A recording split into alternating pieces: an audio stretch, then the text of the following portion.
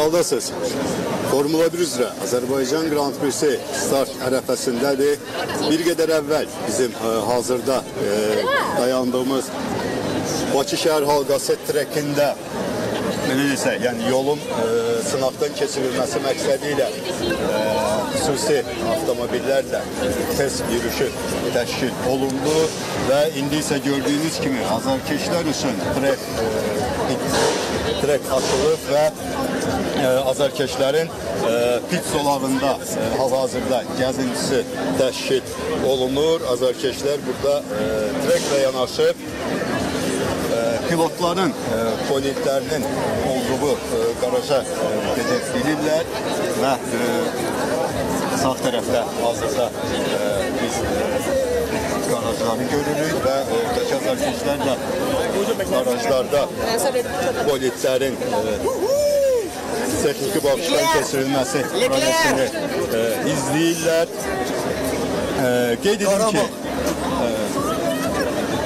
Azərbaycan Grand Prix'si 2024 üçün e, təxminən 100-dən çox ölkədən bilet, 100-dən, 100-dən çox ölkənin azarkeşləri e, bilet alıb və e, bu da rekord göstəricidir. Düzdür, ötən ildə e, 2023-cü ildəki Azərbaycan Grand Prix-sində də e, biletlər tam olaraq satılmışdı, amma e, ötən ildən fərqli olaraq bu il əlavə tribunalar quraşdırılıb və e, tribunaların sayı ona çatdırılıb və bu artıma rəğmən yenə də e, bütün biletlər e, 100% tam olaraq satılıb və e, elə gördüyünüz kimi də nə qədər azarkeş elə e, bugündən gəliblər e, treklə e, pit stopla e, pilotların bolidləri ilə e, tanış olmaq fürsətini əldən e, qaçırmırlar.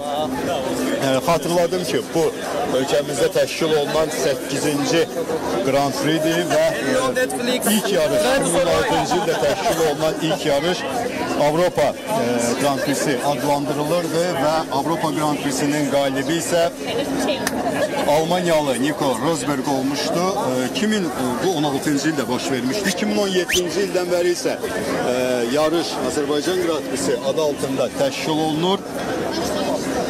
Bu e, əvvəlki yarışların qalibləri Avustralyalı Daniel Ricciardo, Britanyalı Lewis Hamilton, Finlandiyalı Valtteri Bottas, Niderlandlı Max Verstappen və Meksikalı Sergio Perez olmuşdu və bu e, sadaladığım pilotlar arasında yalnız Perez iki dəfə Azərbaycan Grand Prix-sinin qalibi olmağı bacarmışdı.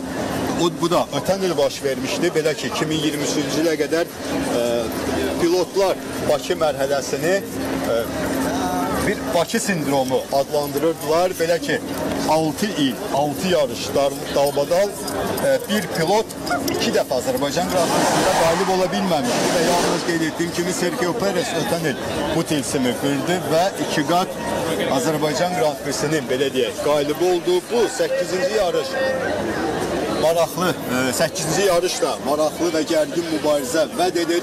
Kimin qalib olacağını zaman göstərəcək və bu qalibin adına da e, bazar günü sentyabrın 15-də təşkil olunacaq final yürüşlərində aydınlıq gələcək və e, bu xəbərləri də biz sizə Real TV vasitəsilə çatdıracaq. Odur ki, Realı izləməkdə davam edin.